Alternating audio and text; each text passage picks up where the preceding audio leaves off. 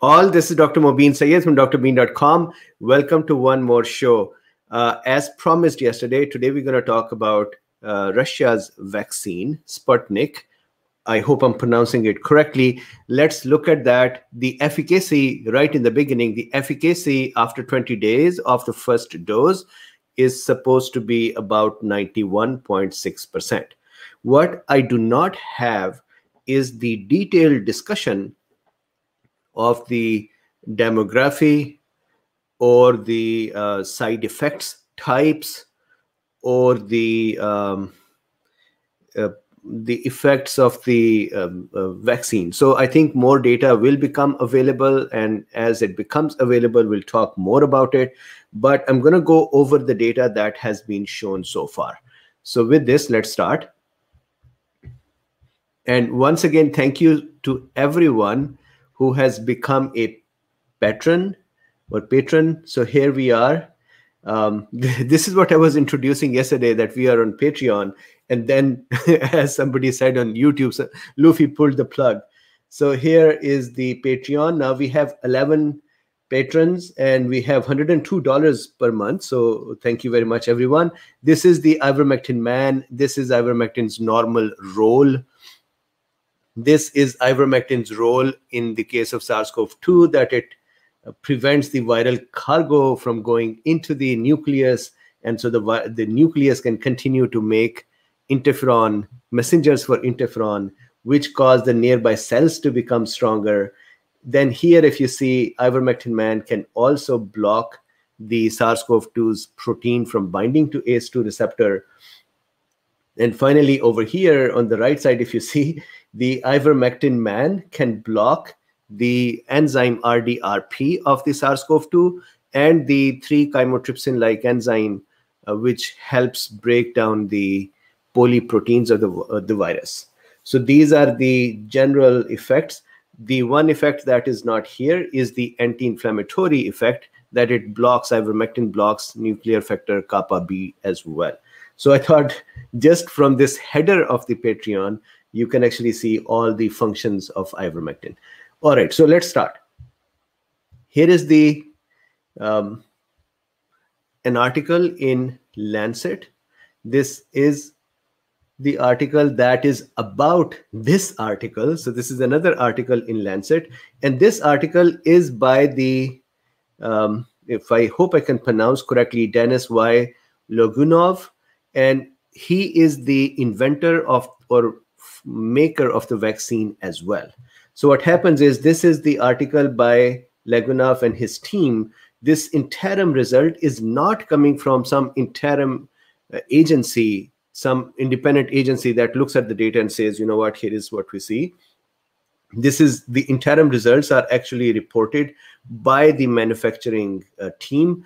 And then this article over here simply refers to the other article and then summarizes it once more. So I don't think it's nothing, anything new. So if you see here, Denis Logunov and colleague report their interim results from phase three trial, and that is this. So these both articles are actually the same thing. Then here is it is interesting. This is the Sputnik's own website, and they talk about some of their vaccine technology and how it is made and the results. And finally, this is another page on Wikipedia about the Sputnik. And somebody, there are there are folks who continue to put this message that do not trust Wikipedia. Look, um, there is a way to study and read things. And one important thing is to look at the references and then go and check those references. I look at Wikipedia, I look at their references, and then I make up my mind that if that part of the discussion is fine or not. And then in cases of drugs or others, I actually go and look at pharmacology books as well. So I think I am a little bit more careful when I'm looking at it, and I'm not just generally picking up everything from here. Having said that, Wikipedia has become a pretty good source. All right, so let's start. I'm going to go to my illustrations. So here is my way of presenting it.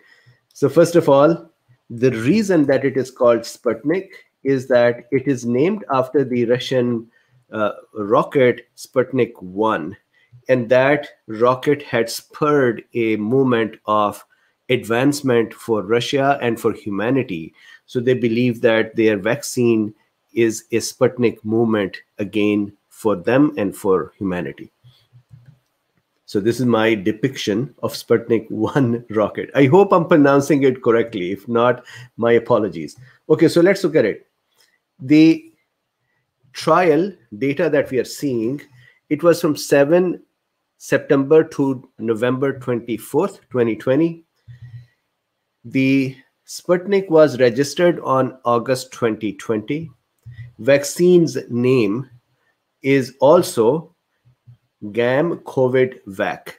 So GAM for Gamaleya, which is the company that made it, and then COVID, of course, for COVID, and VAC for vaccine. Company that made it, it, it is state-backed company called Gamaleya Research Institute of Epidemiology and Microbiology.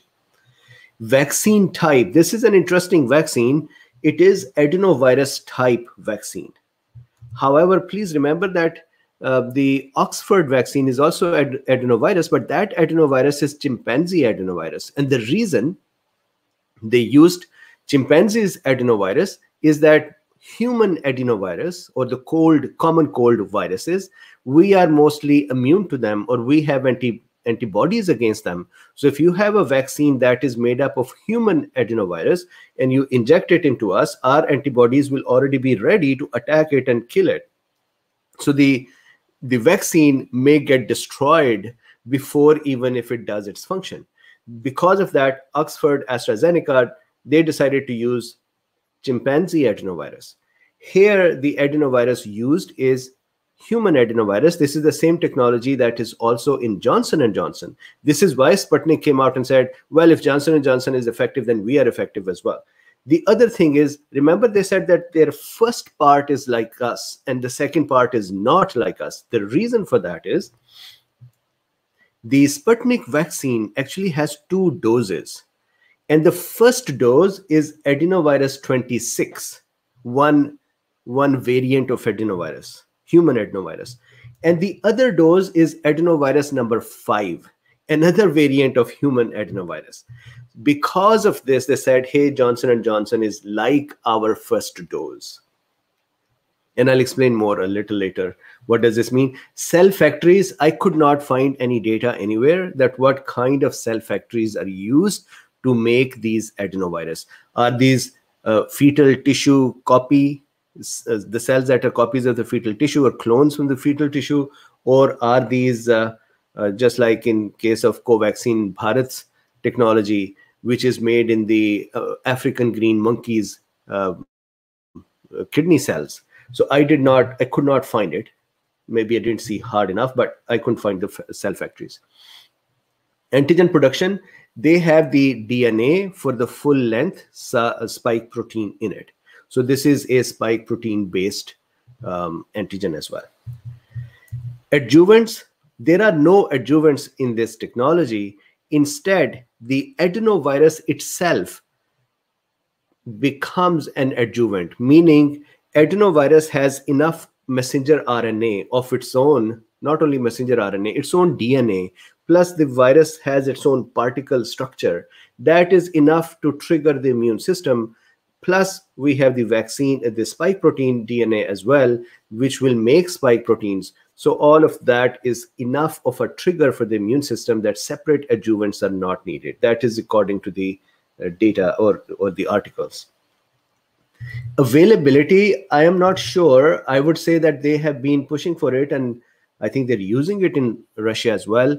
Um, the There are emergency use authorizations in some countries in Europe and they are now applying for more authorizations as well. Storage, this is interesting they can be stored this vaccine can be stored at 0 degree fahrenheit or eight, minus 18 degrees centigrade. And there is a fro- freeze dried version as well which is a little bit tough to make. But what happens is you take the vaccine and you freeze it.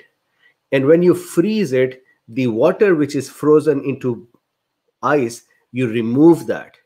So what is left is the dried frozen vaccine and then that vaccine is transported. The frozen dried vaccine is more difficult to make, but it can actually stay at um, for a longer period of time. So normally two to eight degrees centigrade, which is normal refrigeration time, or sorry, temperature, or 36 to 46 degree Fahrenheit. So frozen dried vaccine can actually be stored at low at uh, fridge um, levels, temperatures for a longer period of time. The reason that they are doing this is that there are parts of Russian country which are remote and the vaccine would reach there after some delay in uh, and the transport would take time to reach there so they don't want the vaccine to be spoiled so they have two versions of the vaccine one is a cold storage cold chain needing version and the other one is the one that can go in the normal refrigeration temperature that is storage now let's look at the dose dose is similar to the others that we have seen, the adenovirus type, and that is 10 raised to power 10 uh, particles. So that's a think about uh, billion, 10 billion or 100 billion, something like that. So I have to write 10 zeros and see what is that number. But 10 raised to power 10 or 10 raised to power 11 virus particles. One dose is lesser than $10. So remember, this is a two dose vaccine. So anywhere from 10 to $20. Dose is 0.5 milliliter per dose. So first dose 0.5 milliliter, then the second dose 0.5 milliliter. The first dose is the vaccine in adenovirus vaccine that is using adenovirus 26 version. The second dose is adenovirus 5 version. So both doses are different kind of adenoviruses. And the benefit of that is that our immune system will not have a chance to attack the same virus again the next time when it appears. So the first time it was adenovirus type 26, next time it is 5. So we can kind of trigger the immune system a little bit more. So uh, on their site, there is an interesting chart that I saw. So if you go down on this site, here they're showing. So look at this two different adenovirus based vaccines. So they are saying that this is Sputnik vaccine, the green one. It is adenovirus 26 plus adenovirus 5 versus other uh, other things, for example, AstraZeneca adenovirus 26, both doses, or versus something else which is adenovirus 5 only. So they are saying our mixture of 26 and 5 is actually more uh, immune triggering, more effective compared to others. Interesting idea. So two separate ones. So the benefit of that is that different human viruses are to overcome the pre-existing immunity. So if you are already immune to, let's say, 26, then 5 will bother you more or your immune system. But if you are already good with 5, then 26 will bother you more. So they kind of are switching them up. AstraZeneca, for example, is chimpanzee adenovirus. Johnson and Johnson that we talked about yesterday was um, adenovirus 26, and CanSino, the China and Canada's combination, is adenovirus 5. So that that I think is interesting. Then phase three interim results. So I have to show you where I'm getting the data from. So one is this summary of the article the other one is the actual article itself, and that's it. I do not have, there is some data that I picked up from here as well. But what I do not have is the kind of PDF data that I am used to presenting you, um, for example, for Pfizer or Moderna. I am sure it is somewhere. I have to just look for it. And once I find it, I'll go in more detail. So at this time, these are the three references. One, 2, and 3. And the data here is based on those. So this vaccine has been administered in the in Russia to 31,000 folks. Then the phase 3 trial has been done in UAE, India, Venezuela, and Belarus. So these are the countries that have been used in the or the participants came from these countries there is an interesting thing so please see uae india venezuela and belarus but you would see that they say that majority of the people taking part in the vaccine trial are white. So after having folks from these communities even then if majority is white then that that is a problem. Anyways let's continue to look at the data. 19,866 participants so interim results from these folks because they were all given two doses there are other folks who are still waiting for their second dose so they're not included in this result. So 19,866 so let's say 20,000 participants two doses they have all received and then there were 78 confirmed cases of the infection. So at the 78 confirmed cases they stopped and did the interim analysis. The trial is still continuing and they would report the other result later on. And based on this cohort or based on this much data they are saying that the vaccine is 91.6% efficacious in uh, preventing the disease, mild to moderate disease. And in addition to that, uh, I saw that most of the discussions about this vaccine also had somehow um, a tone of salesy thing too, which I'm fine with, no no problems. 1.2 billion people vaccination. That means 2.4 billion doses have been uh, ordered or requested from 50 countries.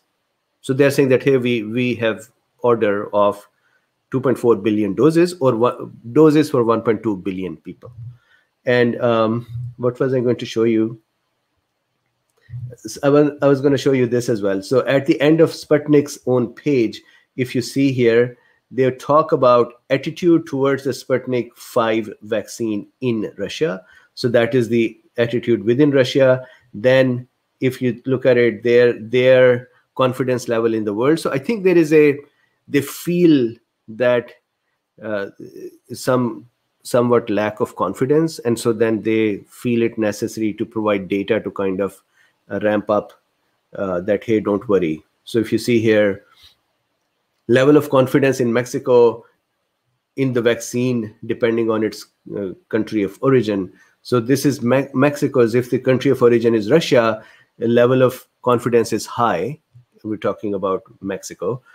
If it is from U- US, then it is 31%.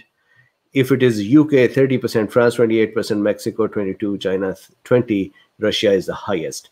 So they they are kind of saying that hey, we are trusted, and that's fine. Uh, they feel necessary to provide that information, and that's okay. Now, continuing on, some more details about the trial.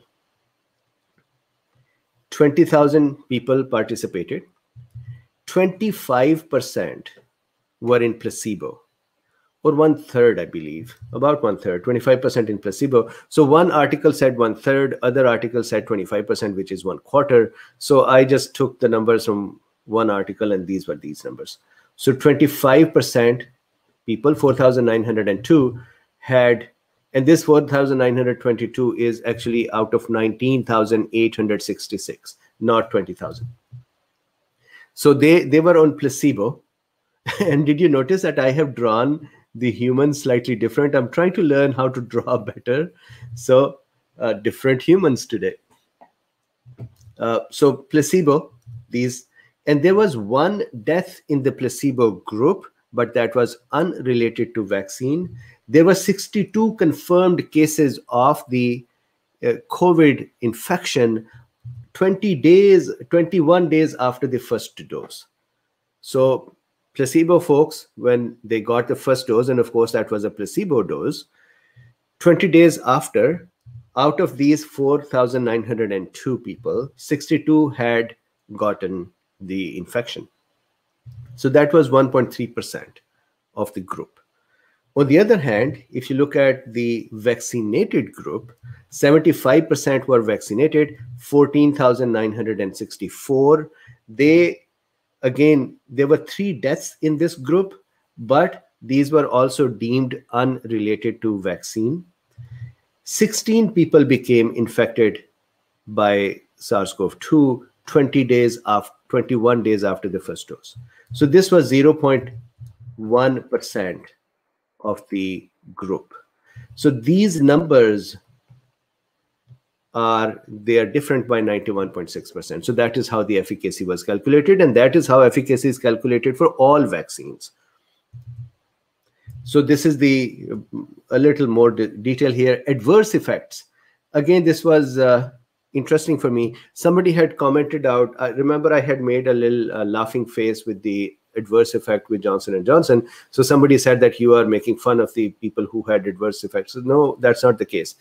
I was uh, commenting on people who received saline. They did not receive another adenovirus or meningococcal vaccine as in UK they received saline and they were more adverse effects. So to me, that was funny that Johnson and Johnson is saying people who got saline reported more adverse effects than the one who got adenovirus. It is unbelievable for me.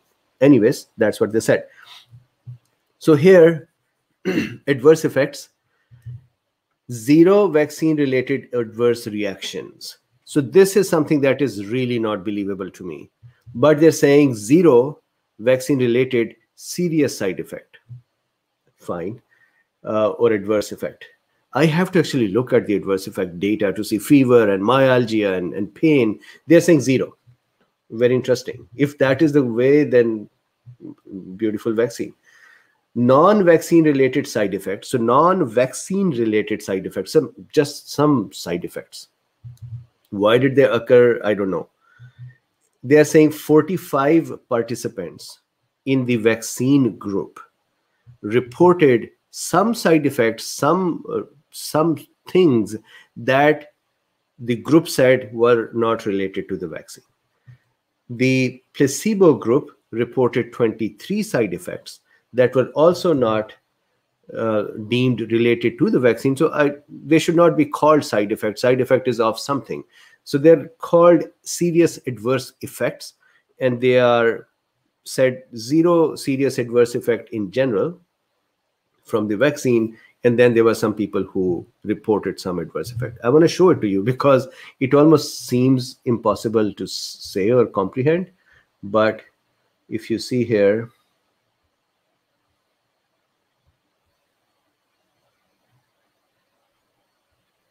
uh, let me go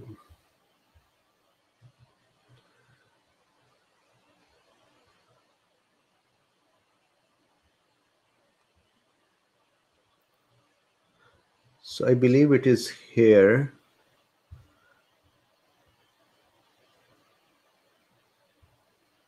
Where is it? Here.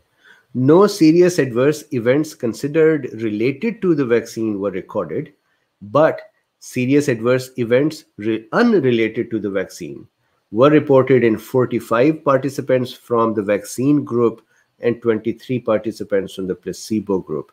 I honestly have no idea what does this mean.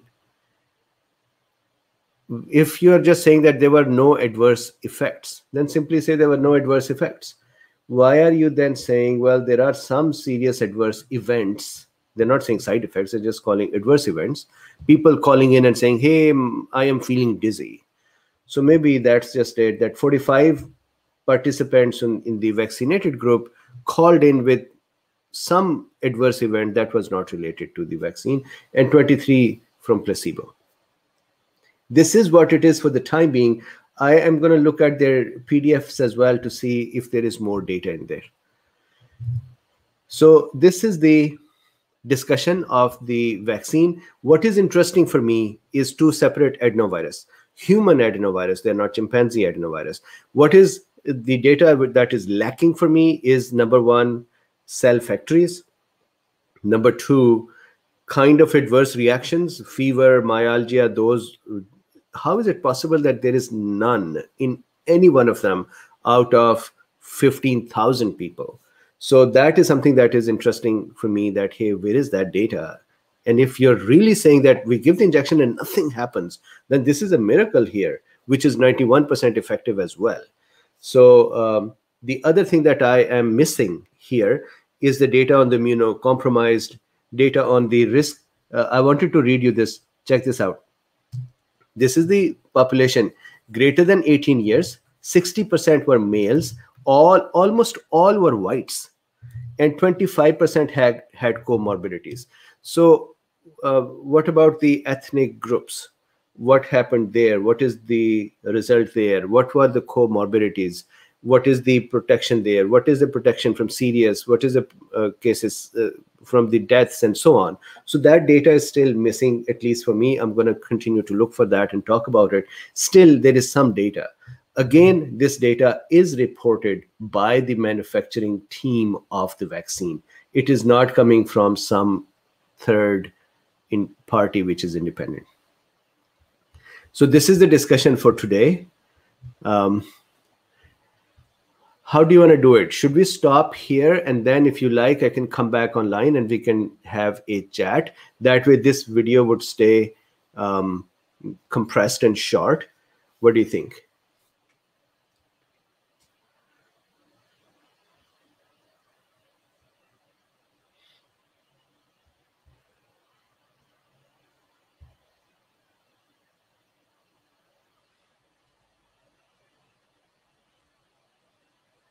Okay, so let me do this. I am going to hang up here and then come back in two minutes and we will chat.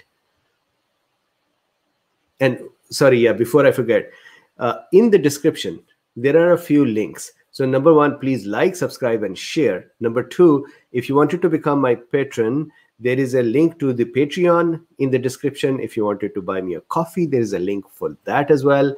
And if you just wanted to support my work, there is a link for that as well. No pressure. It is not necessary. I have received some comments from some koolbeens that, hey, I'm sorry, I'm not in a position to donate to you.